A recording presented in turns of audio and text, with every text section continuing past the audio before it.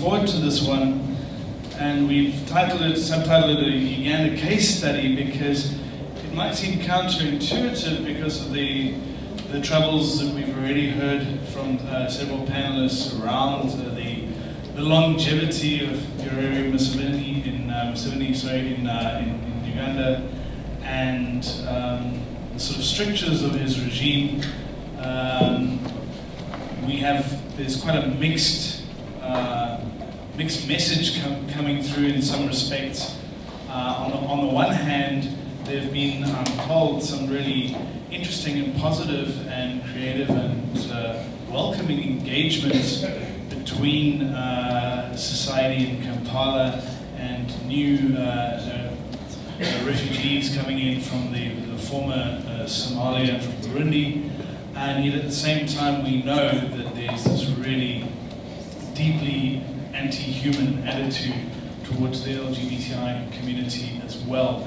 So a very mixed picture, but we've got some fascinating initiatives springing up in, uh, in Uganda, um, all centered on the city of Kampala. And um, without wasting too much time, I, I, think I'd like to go just from my from our right on downwards through our, our panelists and ask them to first of all describe their particular projects. We'll, we'll start with uh, we'll, we'll, we'll start with you and uh, your uh, Safety Hub uh, uh, program. We mentioned it earlier at the beginning of the day, but get an idea of how it works in practice in, uh, in Kampala and then, and then move on to the other initiatives in the room. Uh, really turning Kampala into quite a, a, a unique center for arts protection, art rights, justice in the continent. So thank you so much. Good afternoon. Uh, yeah, uh, unfortunately, I'm the only one who's not based in Uganda but we work closely with uh, Pan Africa Human Rights Defenders Southern Africa Human Rights So, um, as said earlier on, the, the initiative that we're, we're collaborating is called the Ubuntu Hub Cities, which creates safe cities around uh, the whole of uh, Africa. So the one in, in, East Africa is based in Kampala. So what we do is uh, relocate. This this is where there's a lot of relocations for people Somalia, uh, Kenya, also and Tanzania. But I think I can speak more um, later on, depending on what the others will say. That's a nice way of, um, of, uh, of, buying, of buying time. okay, uh, thank you so much, uh, Michael, for, um, uh, for this Ugandan case study. And thank you, friends, for coming for, for this session. Um, Uganda is a very interesting uh, scenario. Uh, Professor Aili Mari Tripp calls Museveni's regime a hybrid regime in the sense that it has some tendencies of democracy, uh, like regular elections. At the same time, it has uh, tendencies of tyranny, like uh, clamping down on the opposition and critical voices. Uh, if you have watched Ugandan news, you will see that almost every day uh, the opposition people are beaten up. And it's in this context of uh, a hybrid regime that some of the creative initiatives can take place, uh, like PEN Uganda, that you can work in prisons and publish a book. Uh, some of the some of whose works are quite critical of the government in a satirical way, of course, not directly. Uh, now, um, Uganda, as many of you are aware, I think hosts uh, the world's the world's uh, largest number of displaced people. Uh, Uganda hosts 1,500,000 people. Um, and that's a lot, that's a lot of people that are to be hosted. And, and as Ugandans, we are proud of this. Um, you don't hear of cases where there have been attacks. You don't hear of cases of uh, widespread xenophobia The isolated cases, of course, they're there. We don't hear of um, uh, terrible cases of xenophobia and so on. And, and, and this has helped Museveni's regime. Because Museveni is a very cunning, cunning animal. Uh, this has helped Museveni's regime in at least two uh, ways. In the first way, it has eased pressure on Europe and the US. Most of the most of the displaced people in Africa end up in Europe and, and the US. But by hosting 1,500,000 people, uh, that means that Museveni has eased pressure on Europe and the US. But secondly, and, and shockingly, uh, it has given um, Museveni some lifeblood in terms of finances. Because the hosting of, of uh, displaced people comes with financial rewards, if you like. I'm putting it a bit cynically, but uh, uh, the, the, the, bodies that have to do with displaced people and so on, they actually bring in money to support, to support displaced people and so on. And this money has been very supportive of the Museveni's regime. And so we should not say Museveni is benevolent because uh, he's hosting 1,500,000 people. It has actually helped him elongate his uh, regime because the West sees him uh, as a devil, yes, but also as someone who is easing pressure uh, on it. And so at PEN of Uganda, we noticed that many writers, there are two categories of displaced people, those who are living in refugee camps and those who are living on their own. So we noticed that most of the, uh, the displaced writers living on their own were staying in places where writing was not possible. They were staying in the slums around Kampala, and in places without power sometimes, electricity, in places without internet and so on. So we came up with a, um, a project called the Make Space Project. We rented out a house in one of the Kampala suburbs called Namongo, I think about two kilometers from the city center. And in this place we have internet connectivity, we have seats, and people come and work from there. And we don't, don't have any signposts people ask us, why don't you have a signpost? Because we don't, want to attract attention to ourselves. So uh, through, can I call it an arterial network, if I can borrow the, the, the, the beautiful name from uh, our senior colleague from Zimbabwe. Through arterial network, the writers inform other writers about this space and then they come and work here. So in the process of establishing a library, uh, English PEN has promised us 100 books so that when the writers come, they can read. And I would appeal to all of you, if you have a book you have read and it's lying on your shelf um, uh, idly, please give it to us so that these writers, when they come to work in this space, they can read. We would like them to read as much as, as possible so that um, um, they, they can really see the space as a, a space that is um, uh, enriching their writing better. We are also working on an anthology so what happens is when the writers come, we ask them to volunteer to give workshops to, to one another. So they are, they are, giving workshops on translation, they are giving workshops on uh, creative writing and so on. And the idea is that by the end of next year, would like to have an anthology uh, from their own work. The displaced writers who are working there, and so far we have five pieces that we have received. And also would like the, uh, them, we, shall, we are going to work out, uh, we haven't got the permission yet from the Prime Minister's office, which is the office in charge of uh, refugee camps, would like to move with them refugee camps so that we can have creative writing workshops with uh, the writers in the refugee camps so that we can come up with uh, an anthology that contains the work of those who are in Kampala and are living on their own and the work of those who are in refugee camps. But for this place to be good, we need coffee, of course. We have a coffee machine, we need all, all, all, the things that you would like to have in a, an artistic space. And it's not easy, of course. We have very little money. Uh, we don't have many books. And we appeal to you for support. Uh, I think in, in, uh, in, one of the sessions we said we should also fund our own initiatives. We don't have to look to the West all the time. I think giving us one book, how many are we here? We're about 50. Those are 50 books. And those are 50 lives that will be changed by your books. Thank you.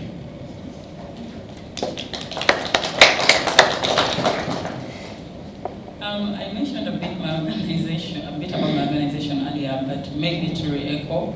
So um, we provide a safe space for LBQ women to just express themselves. We used to provide a safe space, now we are struggling, so we, are, we have moved from providing to continuing to attempt to provide a safe space. But we have like an office and we have um, what we call a social Friday, which happens every last Friday of the month. And what happens there is we just provide this space where LGBT people just come, mostly because we work with women, so LBQ women come together and just use art as a form of healing or telling their stories.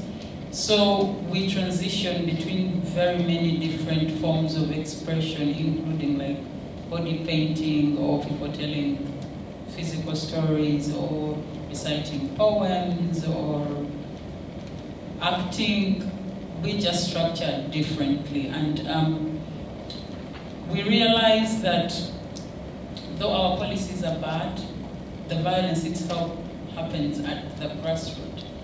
The people that violate us physically mostly are people that we live with every day the person, your neighbor next door, where you buy your things, where you go for medical care.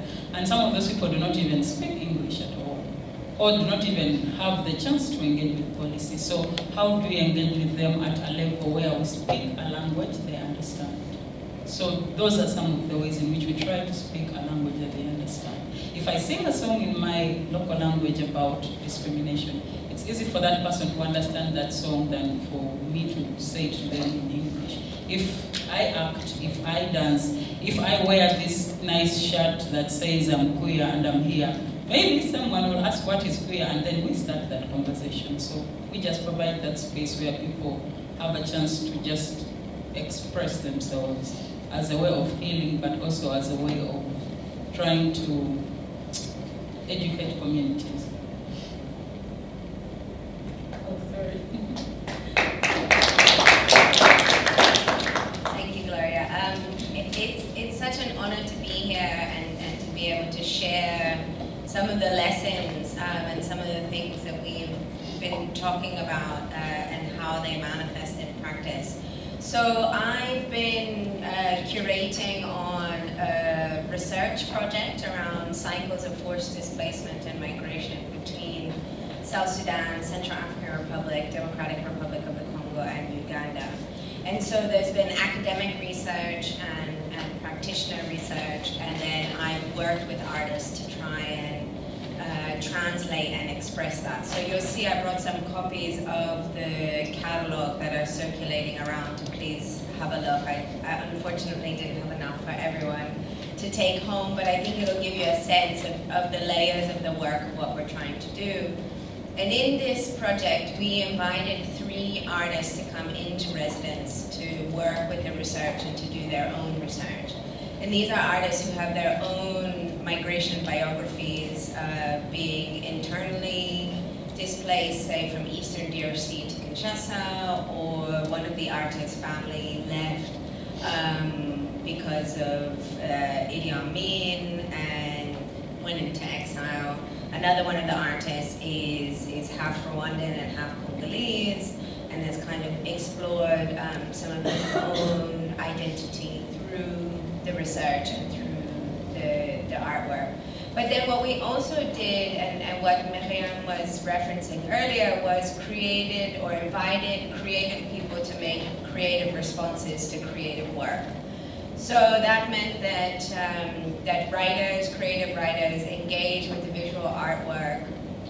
Filmmakers, uh, photographers were invited to continue to have, have the conversation. And, and we built up the exhibition through not just the a series of dialogues in which one of them was called the grammar of images. So to try and think about what are the representational terrains that we explore when we're digging deep into forced migration issues?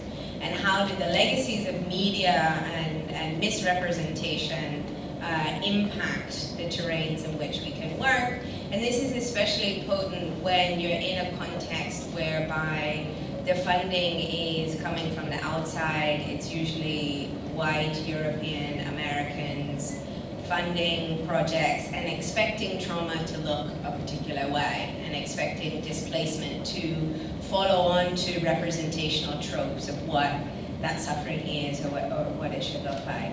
So what we really tried to do was how can we invert that? And, and you'll see one piece of work in there that's called Kanyo Love.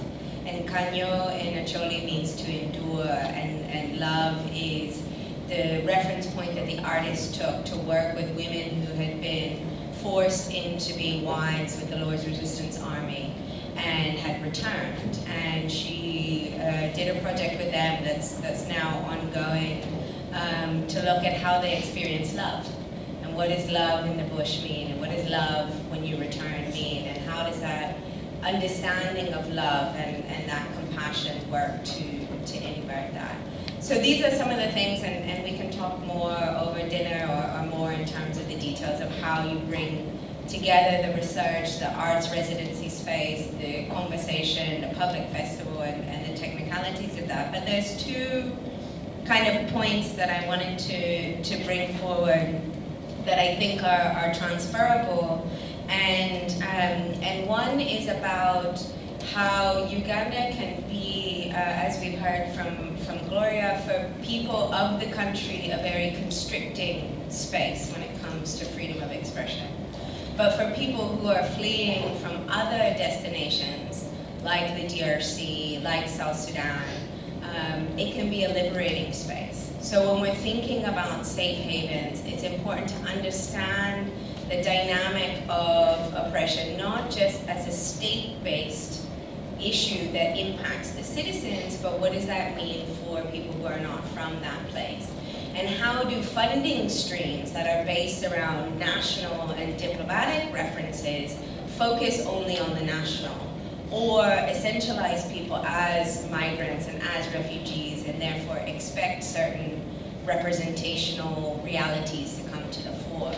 Um, and then the second thing is about kind of transition and time and what um, dealing with these difficult issues and these conflict realities mean in terms of time and how sometimes the pop-up and the temporary and the spontaneous and the and the safe and the, the sort of hyper local space is the most appropriate space.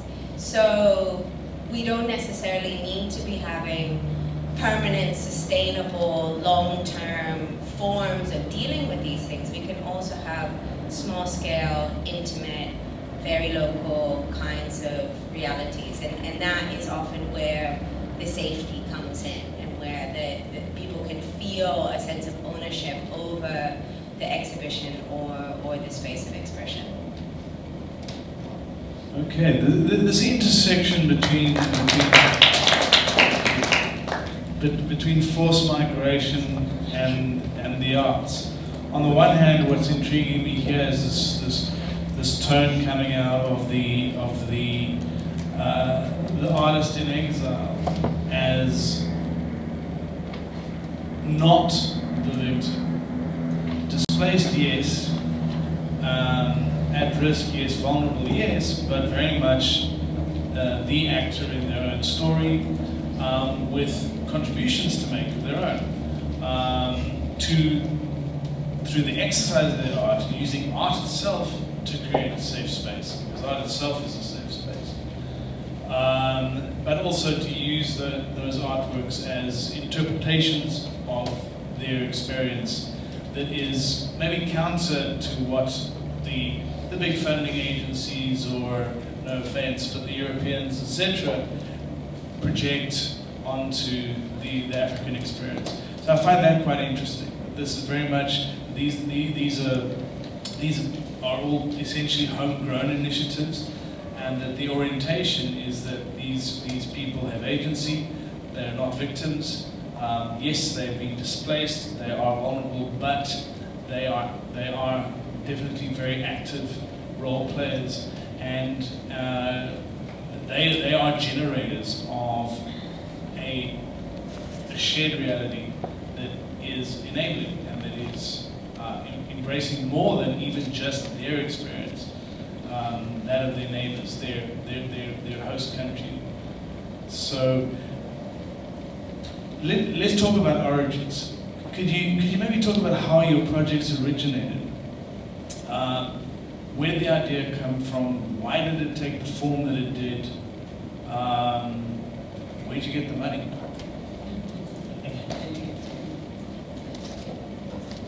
Yeah, I think I can speak on this one. Um, um, in regards to where the project originated, um, as it speaks for itself, we say the Ubuntu Hub Cities, which means to show that um, although this initi initiative was not there, like in, in practice, it was there uh, through the um, notion that as African people we're always there to support each other through hard times. And uh, this can be seen through even liberation struggles and stuff, stuff like that, that we, we're there to be able to protect each other in terms of need. So we thought it would be important for us to say as a human rights defender who's facing threat in, in, in his country, he can easily be relocated to another African country where he can uh, reintegrate and also be able to, to learn and um, exchange ideas with other fellow human rights defenders working in the same, um, in the same uh, thematic areas.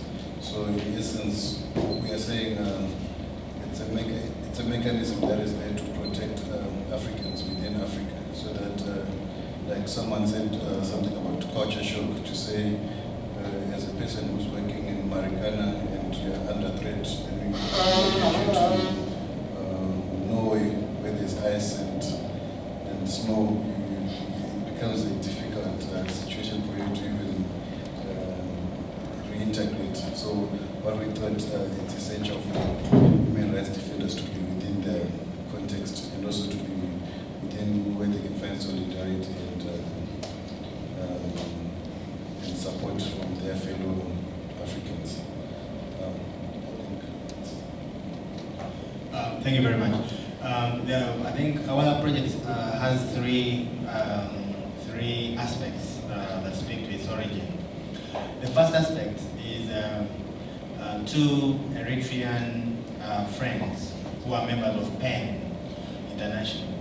And every time we meet in other spaces other than Uganda, they would claim that Uganda is a better place than where they are. And one of them is in Norway. And of course, I would, I would dispute that. And I would say, but why, why do you say that? He said, I was happier in Uganda, where I stayed for three years, as I was uh, working out uh, an asylum status with uh, the county where I am now.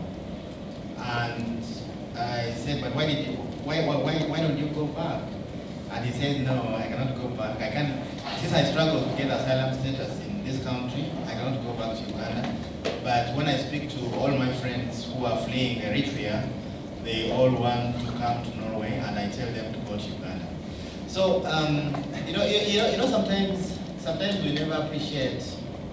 You know, we live in a very repressive society, as Gloria has been telling you, and sometimes we never appreciate the fact that there, there are spaces of freedom, uh, and those spaces of freedom are taken. So my interaction with these two Eritrean uh, people who had stayed in Uganda for three years but are now living, one in Canada and one in uh, Norway, uh, made me uh, uh, revisit, revisit Uganda as a host country. I began asking myself, what, what makes Uganda uh, a better place than Norway? Which you can't even imagine anyway. In our colonial education, I think you're aware that African people are colonized for about uh, 70 years, and that African people think that uh, European things are better, without even thinking through it. It's a, a colonial problem. Uh, an African girl, not all of them, will cut, will, will cover her beautiful hair with a wig, a wig she had bought in a shop at about $20. Uh, and she will think that the wig is more beautiful than, uh, than her hair. And so that colonial problem, we are still struggling with it. We are still struggling to decolonize.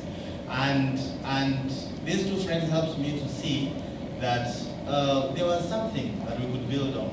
And that something was the kind of safe space that these people found in Uganda. The second thing was our prison project. Uh, we were doing creative writing workshops in school, in prisons, and the inmates were writing very critical work of the government. And they would perform this work when the warder, when the warder assigned to oversee what is happening uh, is also sitting there. So sometimes after the performance, uh, we would engage uh, the warder in discussion, uh, worried that our permission would be revoked anytime. And the warder would say, um, I agree with them, but my bosses must never know. And we discovered that in fact, uh, even a tyrant, even the worst tyrant, can never have complete control over the country. Even the worst tyrant will never have complete, because he's a human being, although they see themselves as gods. They, they, have two eyes, they only see ahead of them, they don't see behind. Uh, they sleep, they're, they're, not, they're not gods who are omni-awake, they sleep. So we discovered that in fact, even in a tyrannical space, you can manipulate it in some ways and you have a safe space where to, to breathe. And then finally, uh, our relationship with PEN International. When we discussed with them this idea, they said, oh, that's a brilliant idea, and I think we can support you with that.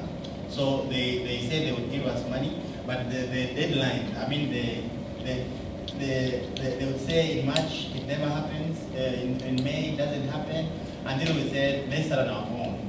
So the next time they asked us how far we had gone with starting, we said, we have been in this project for three months. And they were shocked to hear that. And they asked how do you raise the money? We said, well, we, we used our personal monies to, to start the project. And that's when they said, oh, we are coming on, uh, on board. So I think that's how, uh, that's how uh, I can say it started. And uh, one thing about Museveni's rule is that, you know, he becomes very touchy when it comes to uh, his losing power. But these other things like, you know, writing, uh, things, if things don't have to do with him losing power, uh, you, you, you, can go about it. But when it comes to him losing power, like like him going on national radio and saying things about him, he will. So you find ways of of dealing with the monster. It's like if you know that there's a snake in your house, you sleep with one eye open so that uh, uh, in case uh, snake comes, you have you have you have, uh, you, you have um, a machete in one hand, uh, so when you sleep, one eye sleeps, the other eye is looking out for, uh, for the snake. And that's how Uganda is. Or you have a beautiful pot, and you don't want to break the pot when the snake has entered there. You have to find a way of keeping this pot, but also ensure that the snake does not bite you. And that's how Uganda is. And I think with that in mind, for me, what comforts me is that a dictator will never have complete control over his or her country. And that gives me the courage to say, even one small thing that, like the five stories I have, those are already a, success story. That these writers who are coming to this space, there are not so many as yet, there are about six or seven. When we held, uh, on the day of the imprisoned writer, 15th November, we held a panel discussion there, and it was published in the East African. And, and those are very minor achievements for people who are used to very big achievements. But for us as a center, those are very significant achievements.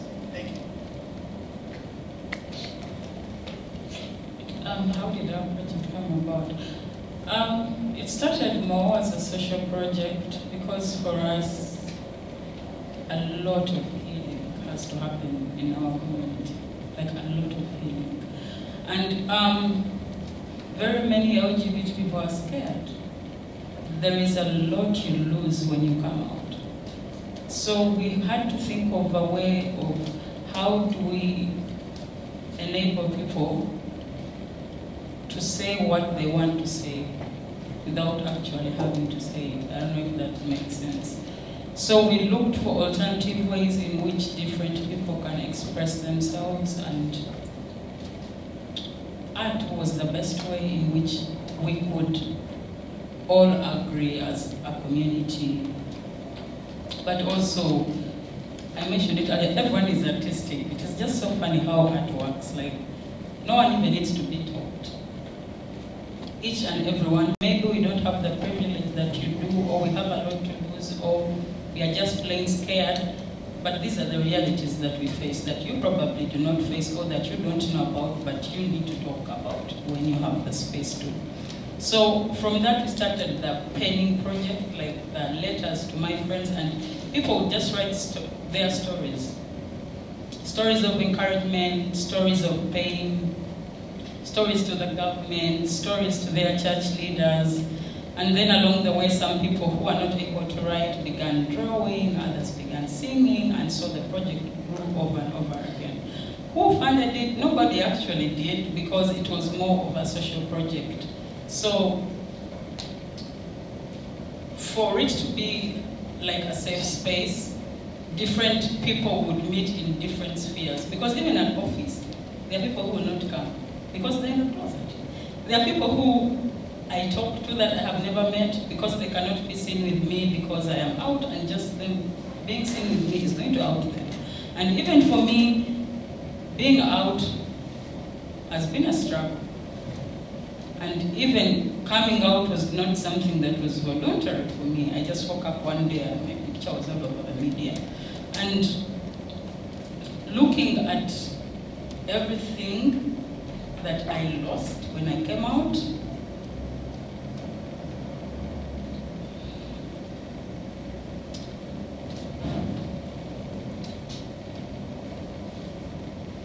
I felt that this project is powerful because it gives people a chance to be seen without exactly being seen. And a lot has grown out of it from the stories we have recently published, the first research on the realities of LGBTQ women, and we just accumulated this different data from different stories of people's experience and come up with this very beautiful research to help people understand like this, these are what these are the recommendations, these are the things we go through, this is how we think you can support us, this is yeah.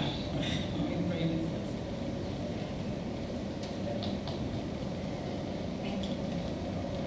Um, wow. So, um, how how do these things start? Um, so I am currently at the London School of Economics, and I'm there doing a PhD as a reflection of my curatorial practice. Um, so to try and understand what does it mean to do this work in these spaces, and, and I'm actually in an international development department um, for these funding and difficult things um, that I've spoken about. So, so being in the belly of the beast was important for me, although very out of place as a curator. Um, so that's a short interlude to, to the fact that we wrote a grant proposal for the research, for the four country research. And then within that grant proposal was something that we call the Pathways to Impact. And it's through that that the funding for the creative work is being done. And this is uh, Arts and Humanities Research Council funding under an umbrella called the GCRF, the Global Challenges Research Fund. Um, and if anyone's interested in, in knowing more, um, we can talk about this. But what I think is important about that funding is that it's, it's UK government funding that mostly goes into kind of more hard security, crime, um, terrorism, IR, international relations related issues. And they're seeing the value of creative processes. So to build this project, it was really important, not just for us to include arts and do what many scholars and NGOs do, in which you invite artists to mirror what you're trying to say and to sort of illustrate your activist point, um, but was actually to think about how do we have the time and the space and the resources, which is really important, to um, see what the possibilities are and to invite artists to also be researchers and to understand that the making process is an investigation and that the, the PhDs and the lived realities exist on an equal playing field. And so these are the kinds of disruptions and emergences that we're trying to do through the process. But that comes from, you know, many years of doing curatorial work, being with people, um, also engaging in spaces like South Africa where there's so much of this important work happening, and being willing to surrender that authority and narrative that we hold on to so tightly um, that I think gets in the way of that actual expression. So it becomes a barrier to that freedom. We think we're sort of empowering freedom or building capacity, but yet we're not actually surrendering to what might be possible and trying to facilitate as many intersections as possible. And it wouldn't have been, we couldn't have done it without 32 Degrees East, which is a, an artist residency space in Kampala that has been a force and, and also a home to many creatives and, and people trying to figure out how to express themselves in the city.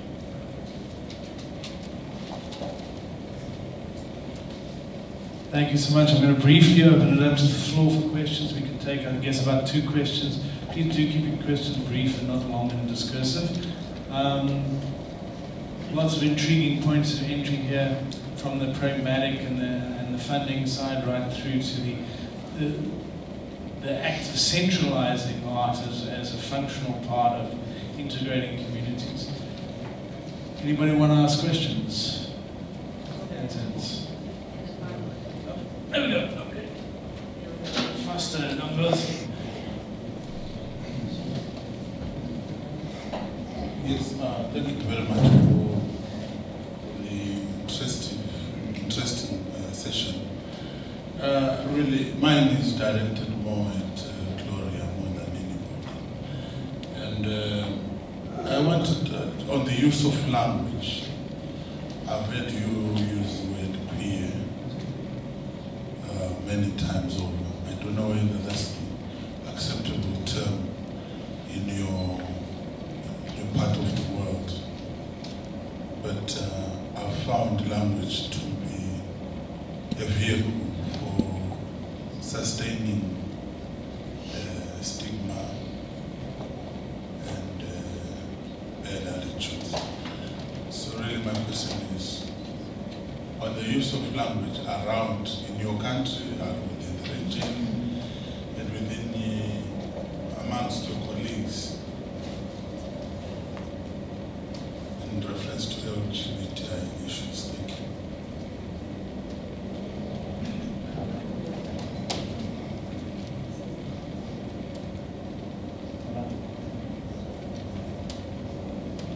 Um, for us, I think language, we,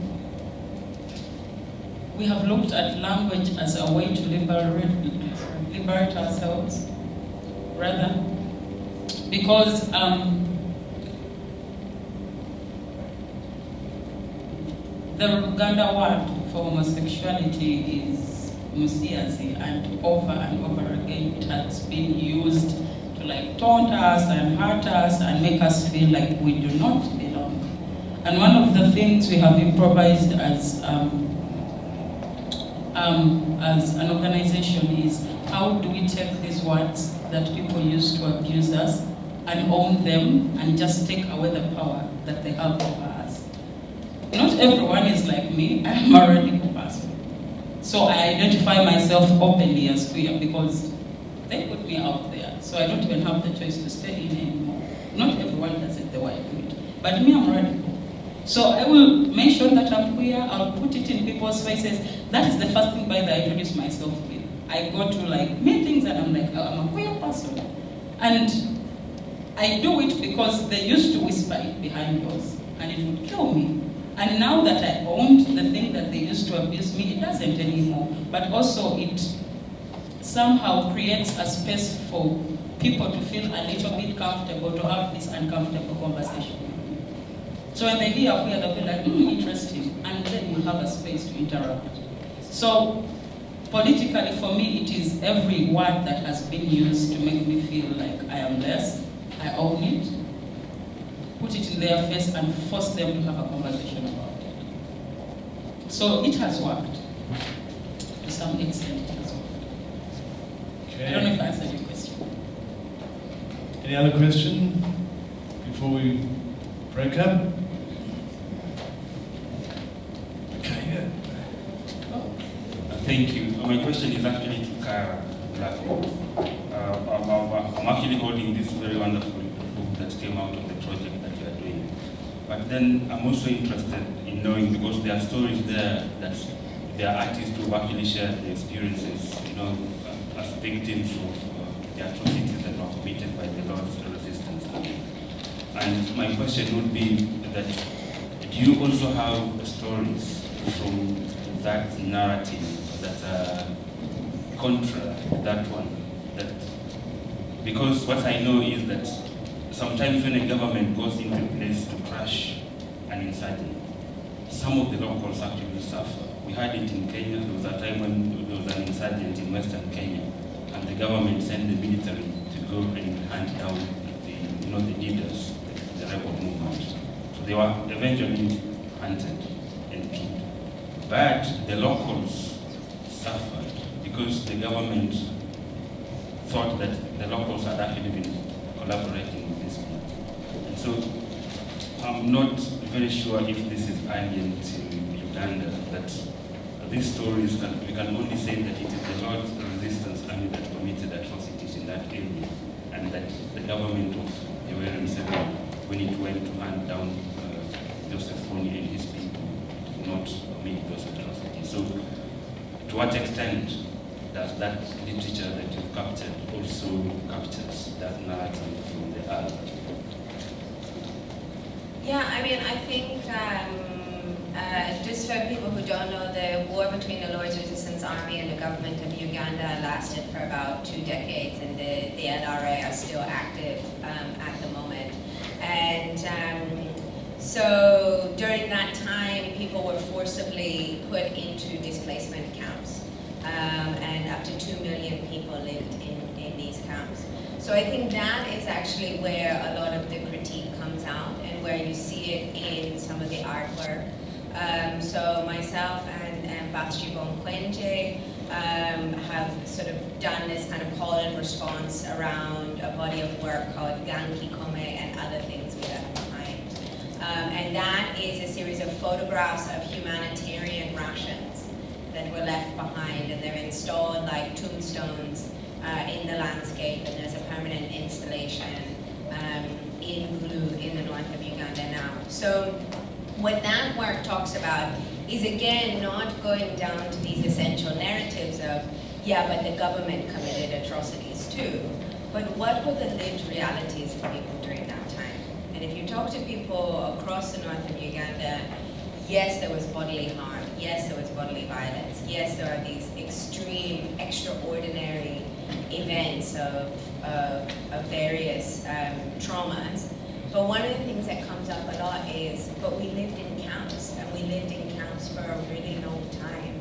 And we didn't choose to go into those camps, and those camps weren't secure, and, and soldiers were often at the center, and so when the LRA would attack, humans were used as shields. Um, and, and at the height of the war, there was more people dying within the camps than from the LRA. And so those are some of the accountability issues, that come up that aren't necessarily addressed in, in the issues of, of say, the ICC or the, the courts or the, the sort of memorials around. Um, but that's what we need to also be listening to, is how uh, is the research and the way in which an artist chooses to engage in that research telling of those lived realities rather than locking in on a particular political statement and expecting an extraction. Okay, and I think that's a great note on which to end, and this notion of the critical role of the arts as an interpretive reframing of very complex realities um, in ways that are nuanced and are responsive to, to lived experiences and are not just purely posturing. Uh, we are now, thank you so much, Sharp We can get a round of applause.